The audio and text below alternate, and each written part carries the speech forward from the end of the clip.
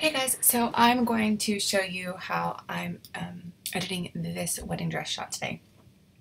So um, this is a gorgeous wedding dress um, that um, we just shot and I just um, photographed this in my house. So this is not um, at a wedding venue or anything.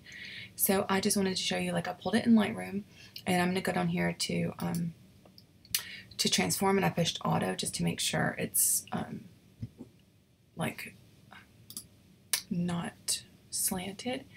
And then I definitely want to want to crop it. So when you go into crop, you want to make sure that this lock is locked so you're not messing up the dimensions or the proportions.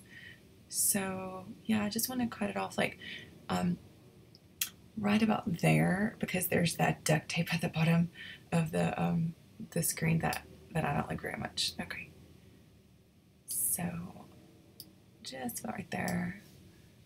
Pretty. Um, yeah, I just, let me just see what it looks like if I just crop.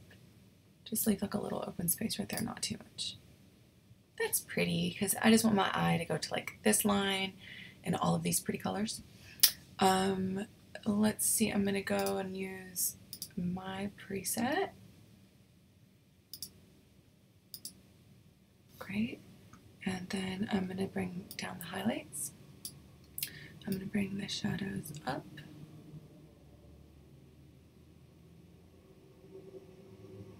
That's pretty.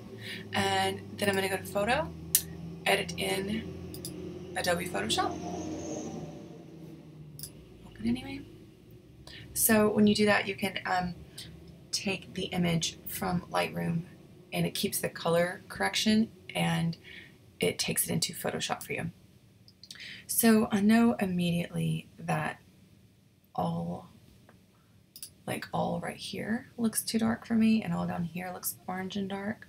So um, I'm going to go to actions and I'm going to do lighten here.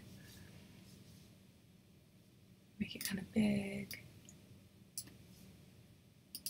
I just want to make sure that's lightened.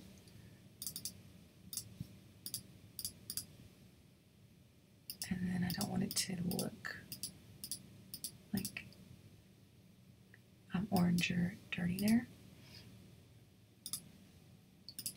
And then I'm going to go over um, over here and create a new layer.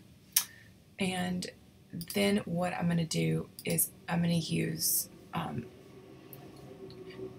so I don't really know exactly what the correct thing to, to call this is, but um, I'm going to put a white layer over over this to make it look a little bit more dreamy, if that makes sense.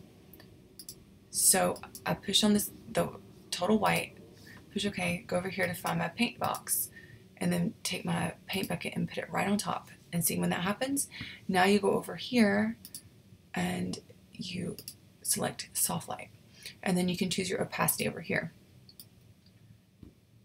So I like that like a lot more. I mean, you can go in there and erase some, which I'll do, but I think that takes away like some of the the muddiness, the orangey.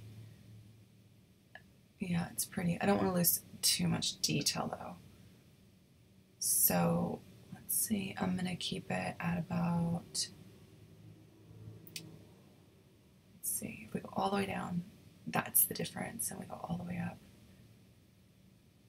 yeah, it's pretty. So I'm liking about right there. And then I'm personally going to lower that, uh, uh, flatten that layer. And then I'm going to try something. I'm just going to try to um, go into the saturation. I just want to see what happens if I bring down the saturation, if it is going to affect. See, this is the part that I'm looking at right here. I'm just seeing if I can affect that. So this is like, oh, that looks like school, not very good. So yeah, this was nothing, and then this was like less saturation.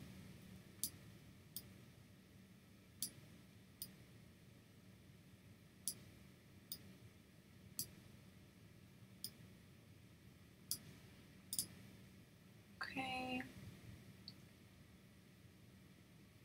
So let's look at the before and after. So that's before um, we did the, um, we put the white layer over it. Um, and this is after. So we put the light, you know, we started in Lightroom and then we ended here.